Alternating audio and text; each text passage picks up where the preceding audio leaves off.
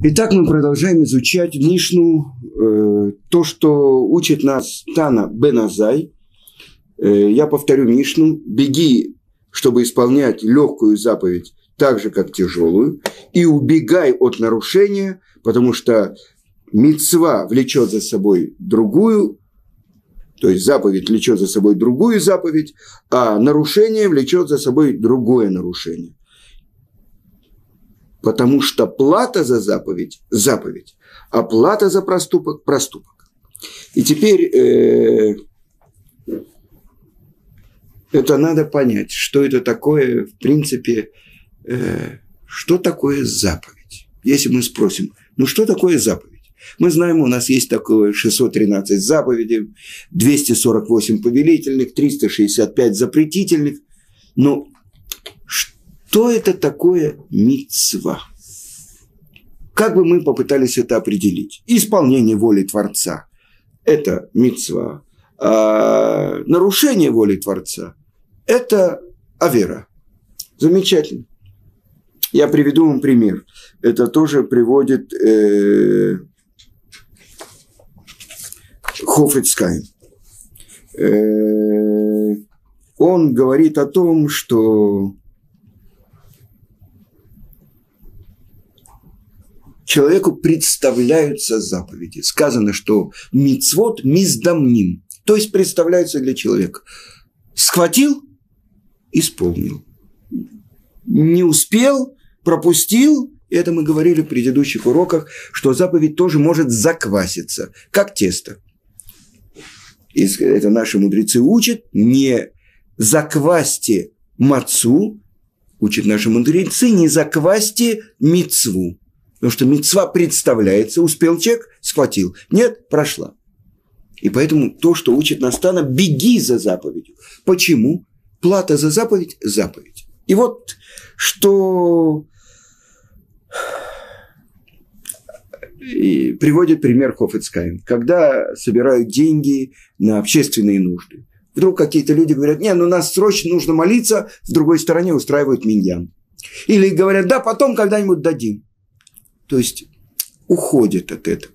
И приводится такой пример, что э, командир стоит перед шеренгой из 30 солдат и предлагает, э, что тому, тем, кто хочет э, добровольно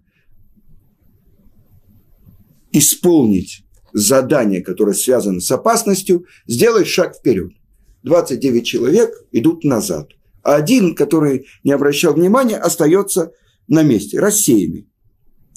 Это он приводит как пример того человека, который уклоняется от заповеди. Все как бы благотворительность оставьте, помогать это оставьте. Так вот, э, Раф, который давал эти уроки, Раф Фишель Шехтер, он приводит э, такой пример.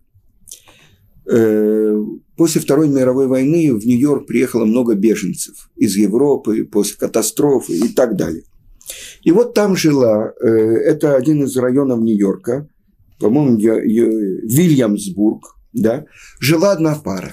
И у них не было денег, чтобы помогать другим. Так вот, они узнавали, что приехала какая-то семья. Или у кого-то родился ребенок а находили эти муж и жена, ходили в семьи. Например, где родился ребенок, заботились об их доме, об их семье. Мужчина варил, жена мыла полы, заботилась о других детей. Как будто это у них родная дочь или сын родили внука. И их доброва, доброта производила очень сильное впечатление на этих бедных, которые бежали из Европы, на этих беженцев они чувствовали, что они не одиноки. И рядом с ними есть другие евреи. И тогда, если мы представим себе последствия того, что делали эти, в общем-то, не очень обеспеченные люди, что они делали? Они делали безграничную милость, хесед. И вот те пары, у которых родились дети, и эти дети, которые благодаря этому все-таки не оставили еврейство, хотя испытание в Америке было очень сильное.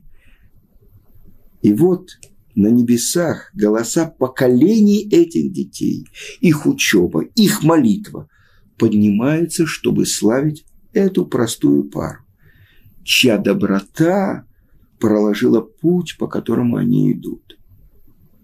Звуки их голосов откликаются эхом вечности, и каждое новое поколение приносит новую радость этим святым душам. Этих людей. Что они делали? Они делали то, что они могли. Но вот это то, что заповедь влечет за собой, за собой другую заповедь. И еще я вам расскажу из этой же книги. Э, многие видели, может быть, я увидел только, когда его похоронили, фотографию. И меня поразило лицо этого человека. Это Раби Исцамс. Да. Я даже потом в Москве заказал, чтобы у меня был портрет этого человека. Раби Исцанс. Он умер из Цанза. Он умер, ну, где-то лет 15 тому назад. Он пережил катастрофу. Цанс, Цанс. Э, он пережил катастрофу. Так вот, что о нем рассказывают. Он копил деньги, чтобы выдать замуж свою дочь. И даже купил ей уже свадебное платье. Ну вот, как-то к нему пришел бедняк в слезах и сказал, что ему не на что не организовать платье, не ку... э, свадьбу, не купить платье своей дочери. И что Раф? Все деньги, которые он отложил, ему отдал и платье своей дочери. И когда дочка узнала, она только спросила у него, у отца, почему он отдал ее платье. И тогда Рав ответил, моя дочь, разве ты не понимаешь, что для дочери Рэби из Цанца все будут соревноваться, чтобы пожертвовать деньги на свадьбу. А у этой семьи нет такой возможности. И вот он рассказывает в этом же уроке, то, что Хофицкаем приводит Мидраш. Раби Аха от имени Раби Танхума говорил о человеке, который учил Тору, строго соблюдал все заповеди, обучал других. Но если он может помочь пропитать, пропитание дать тем, кто изучает Тору, но не делает о нем этого, о нем сказано проклят человек, который не исполняет слова этой Торы. Вы понимаете? Страшная вещь. А благословен человек, который исполняет слова этой Торы, относится к тому, кто даже не может тратить время на учебу. И он вынужден постоянно бороться для того, чтобы приносить в семью еду. И он делает все, что в его силах, помогая тем, кто учит Тору. И Хофицкаем говорит, что этот человек благословен, даже если деньги, которые он дает, превышают установленную традицией для цедаки. Есть мнение 10%, по мнению Гавона из Вильна 20% от всего его дохода. А теперь вот это рассказывается история про Ребе из Кульна. Он после войны остался в Европе, в Венгрии, да, и он помогал беженцам.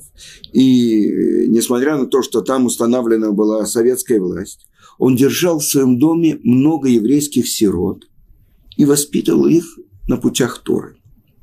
И он пытался найти средства, чтобы их накормить, одеть этих детей, которых он у себя скрывал.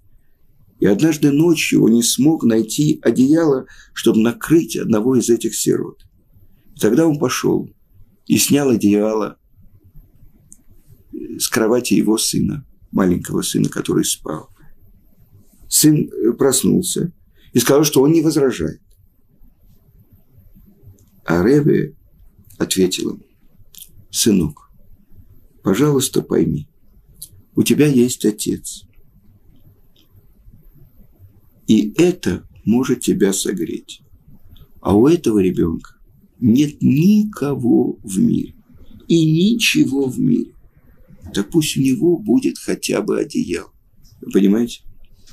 Это подход. А теперь я хочу э, поговорить про то, что один из комментаторов, он говорит такое, что вот Хидо, да, он говорит от имени своего раба. Почему сказано так, что э, заповедь влечет за собой заповедь, а нарушение влечет за собой нарушение. Э, это другой вопрос, это не это я хочу. Вот. Это задает вопрос. Э,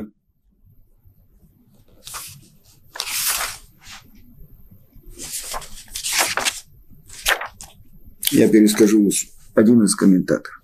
Он говорит, почему сказано в одной фразе «беги, убега, беги за исполнением заповеди и убегай от нарушения».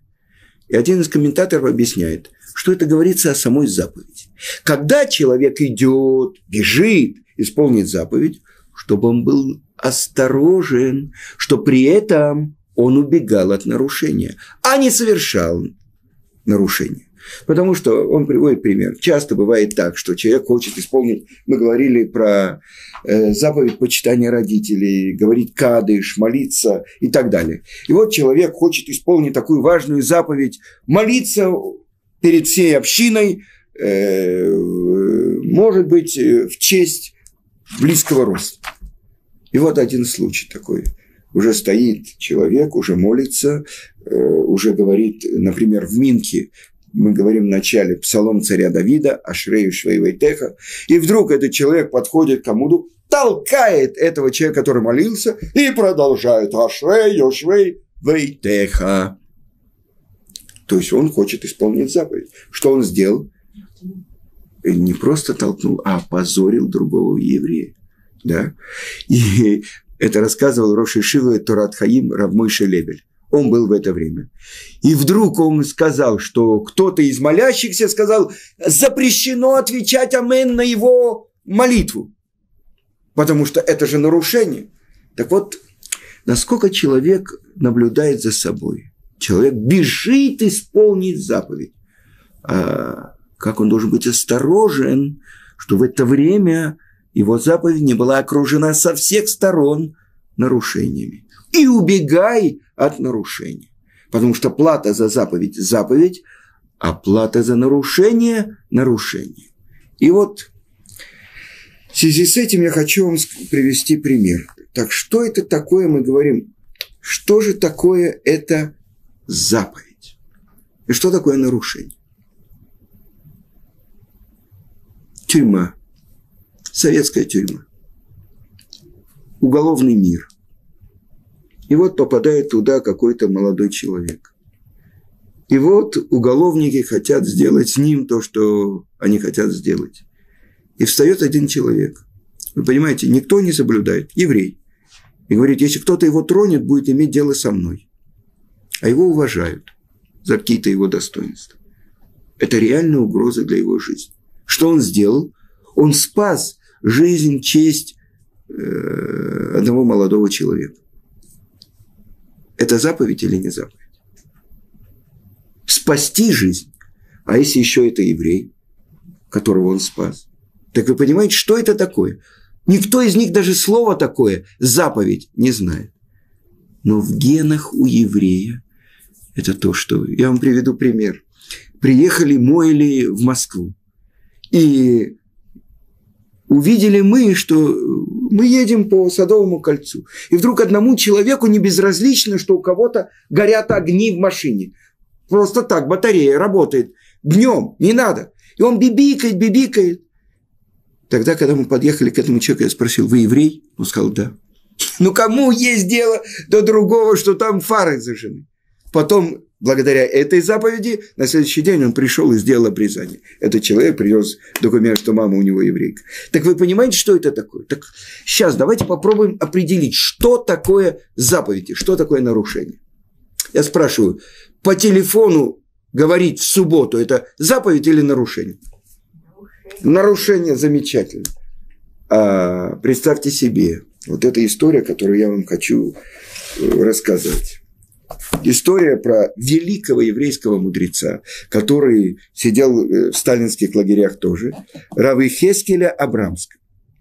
Он э, во время войны, когда до, он вышел из лагеря, и он оказался главным даяном и главным раввином Лондона. И вот туда, э, в Лондон, собирали детей со всей Европы, которых можно было спасти.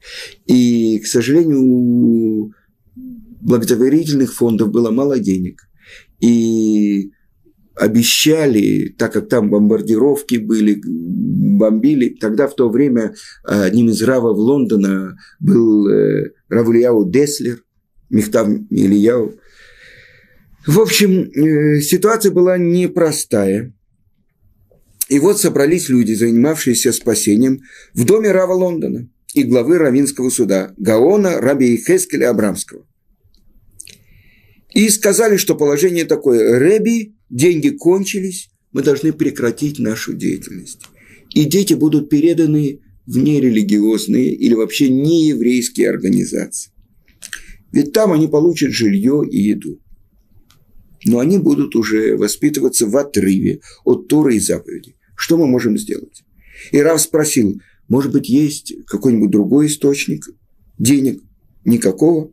Нет, мы уже все испро- испробовали. И тогда вдруг они вспомнили об одном еврее, лорде, да, не имевший никакой связи с иудаизмом, не соблюдавшим никакие заповеди. Только раз в году, в Йом-Кипур, он приходил в синагогу, чтобы сказать э, кадыш по своим родителям. И к нему не обращались, несмотря на то, что он был очень богат. Но он был настолько далек от всего еврейства, совершенно. И тут Рав попросил его номер телефона, и позвонил ему и назначил встречу. Когда он пришел, он сказал, я пришел по поводу спасения души. И он рассказал ему об организации, которые еврейской организации, которые нужны деньги, чтобы воспитывать э, этих детей в еврейском духе. Богач выслушал его до конца и сказал, я поддерживаю организации по спасению. Я даю деньги на Красный Крест и на Джойнт. Но пусть меня извинит Рав, здесь нет никакого спасения души. Детей спасли, когда вывезли их из Европы. Но здесь, в Англии, их жизни спасены, и не имеет значения, кто их будет воспитывать. Соблюдающие евреи, не соблюдающие не евреи, неважно. Но Рав ему продолжил и сказал, иудаизм считает, что воспитание в соответствии с Торой и исполнением заповедей определяется как спасение души, а отрыв от Торы и от соблюдения заповедей – уничтожение души. «Извините меня, Рав», – сказал богач, – «я точно знаю значение понятия спасения души». Он встал со своего места – и этим показал, что прием закончен. И Рав ушел с пустыми руками. И вот в субботу вечером, в 11 часов, в доме богача зазвонил телефон. Суббота была для него как будний день, и он поднял трубку. «Алло!» – говорит лорд такой-то. Голос на другом конце линии был знаком. Говорит Рав Лондона, Рав Абрамский. Я звоню вам в ночь Святой Субботы, потому что опасность для жизни отодвигает субботу. А воспитание детей в соответствии с второй заповедями определяется как опасность для жизни. Разве это недостаточное доказательство, что речь идет о спасении душ? Этот еврей был взволнован. Сколько денег требуется Рав? И Рав назвал требуемую сумму. Огромные деньги. И на исходе субботы лорд пришел к нему домой с названной суммой. И деятельность по спасению душ этих детей продолжилась. Откуда Рав взял этот закон? Так написано в Шулхана Рухе. Это Орахаим, 306, параграф 14. Сказано так и соблюдайте законы мои и установления мои, которые исполнять будет человек и будет жить ими, а не умрет ими, так сказано в Талмуде. То есть для спасения души еврея можно нарушить субботу. И это большой Рав постановил, что он имеет право звонить по телефону, потому что это возможность спасти их души. Так мы бы сказали, вы правильно мне сказали, звонить по телефону в субботу – нарушение субботы. То, что сделал Рав, это спасение души, это мецва. И вот э, это одна из тех тем, что такое мецва. Я вам скажу, что я часто видел моего учителя Равицкака Зильбера, который вслух советовался. Он хотел услышать мнение даже того, кто гораздо меньше его понимает в Торе. Он говорил так. Альпидин, по закону. Это человек так-то и так-то, например, э, шел разговор о ком-то, чтобы дать ему рекомендацию для прохождения Гиюра. Это человек так-то и так-то настроен. Он так-то и так-то хочет делать. Значит, Альпидин по закону я должен дать ему рекомендацию. Хотя там в какой-то Ишиве, где он был, все начальство Ишивы было против, он спрашивал по закону. Так вот, что же такое исполнение заповеди? Это то, что я тоже слышал не один раз от Равыцкак. Когда он был в лагере, он не просил, чтобы ему дали возможность все время не нарушать субботу. Он просил, чтобы Творец помог ему, чтобы он не вспоминал его нарушения, чтобы он помог ему исполнить вот эту одну субботу, не нарушить.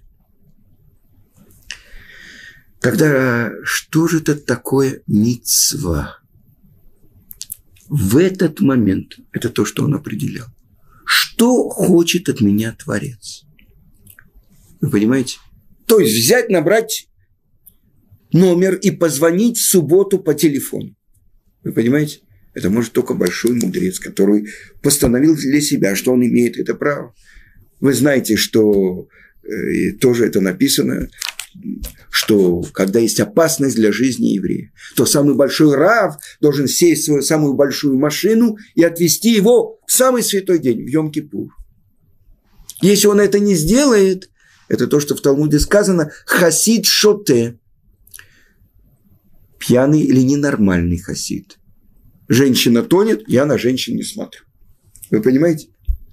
И как я видел неоднократно. Ну, вы знаете, что у нас не принято у религиозных мужчин давать руку женщине. То, как принято во всем мире.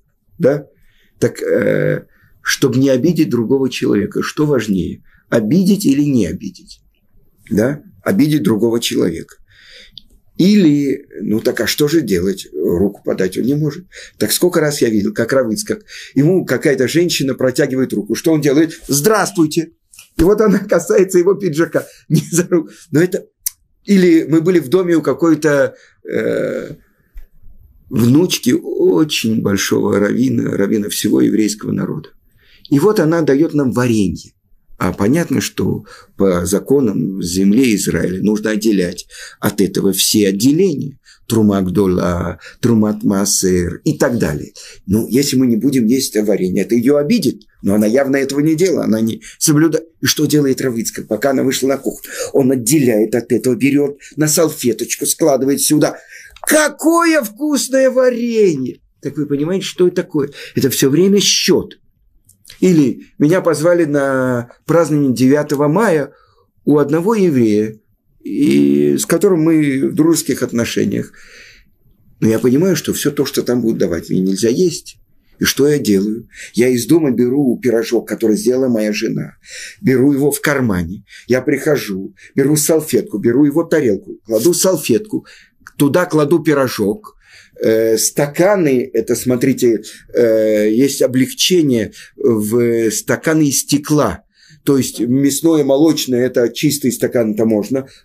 Водка, в принципе, кошерная. Мне наливают водку, я пью за его здоровье, закусываю своим этим, но я его не обидел, я его уважил. Вы понимаете? Ну, то есть, это все время... Так что такое, мецва или наруш? Мецва или авера? Заповедь или нарушение? Что счет какой? Это то, что в Талмуде сказано, что приходили к Давиду и спрашивали, что полагается наказание человеку, который берет чужую жену с насмешкой, намекая ему на Батшеву. Да? И отвечал Давид, что тот, кто берет чужую жену и так далее, ему полагается то-то и то-то, а тот, кто публично позорит другого, нет у него части в будущем мире. Так вы понимаете, что, как все время еврей должен быть просчитывать свои шаги. На чеку. Еврей всегда на чеку. Не путай с чека. Да. Так вот это очень глубокая вещь, потому что человек часто бежит исполнять заповедь. А может быть, вот этот человек, который оттолкнул другого, который молился и так далее. Это причиняет страдания тому. Известно, что это был э, Йорцейт, у Рависройля Салантера, по его отцу. И был какой-то человек, у которого умерла дочь, и он хотел молиться. По закону, тот, кто раньше должен быть, тот, кто, кому представляется возможность молиться, это тот, у кого Йорцель отца. Но сказал Рависроль Салантер, для моего отца будет большая радость то, что я уступлю этому другому еврею молиться вам. Поэтому человек, который не думает – он исполняет все заповеди. На самом деле, может, он придет, и у него не найдется ни одной заповеди, потому что он не думает. С другой стороны, человек, который э, Равихескель Абрамский, то, что он сделал, это самое, мне рассказывал один мой преподаватель Ишивы Орсамех. Он из Польши, их переселили куда-то в Казахстан, его пожилые родители умирали от холода. Он говорит, может быть, за что мне полагается будущий мир, что-то в Ганеден, за то, что ему было там 7-8 лет. Каждое утро в 5 утра он вставал, шел куда-то, где там какое-то было общественное здание, и оттуда воровал полено. Этим он возвращался домой, и топили печь, и этим он спас своих пожилых родителей. Он говорит, может быть, за что мне полагается Ганеден, только вот за эти ворованные полен. Вы понимаете, что это такое? Как? Написано в Торе впрямую. Альтигнову, не воруйте. Спасение жизни, вы понимаете? Это то, что мальчик это делал. И он стал еврейским мудрецом, и воспитал множество-множество учеников. Но вот это как бы... Можно воровать? Нельзя воровать. А, а можно воровать, чтобы спасти жизнь. Равыцкак в своей книге он пишет, что он всю жизнь переживал, что он пошел к одному близкому врачу, а не пошел к далекому, который мог бы что-то сделать его отцу, его отец, меньше, чем ему было, меньше 60 лет, он умер от туберкулеза костей из-за холода, который был в его доме. Так что он переживал, что вот он должен был сделать, а потом не сделал. Вы понимаете, что такое мецва и что такое вера?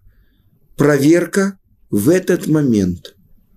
Я вам приведу пример. Это то, что Хайм Коэн рассказывал. Он стоял и молился Шмонайсре, к нему посередине подошел Равицкий и сказал, вся твоя молитва нарушение.